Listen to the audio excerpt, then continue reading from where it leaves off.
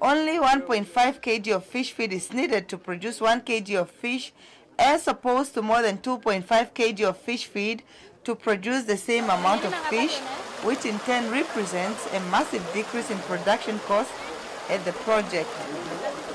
Since its establishment, Epalela Fish Farm, which is a demonstration farm aimed at encouraging fish farming in the country, has managed to establish itself and has now become a popular spot where locals purchase fish.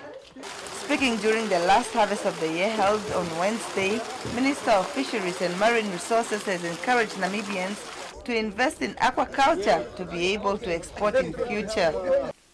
Even though we are heavily reliant on our marine fisheries for fish supplies, we are confident that aquaculture along our country's rivers or water bodies in areas with ample supply of water along our coast even and even inside our South Atlantic Ocean it is a viable option of relieving pressure from our natural captured fisheries and provide nutritious food and economic livelihoods to many of our people.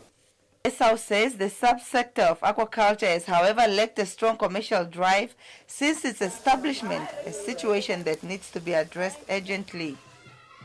He says he is proud of how far the farm has come and says it's a clear demonstration that it can be done. Aquaculture is a business just like any other business, and we must provide guidance to investors on break-even sizes of ponds, the numbers of fish and volumes of feed required to make a living from aquaculture.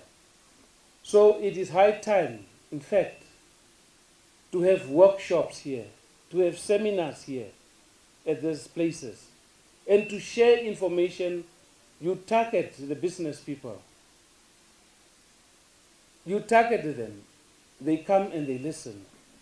And they will see whether they can make a business case out of this fish farming. Because if you don't do that, people will not take up this challenge and embark on aquaculture.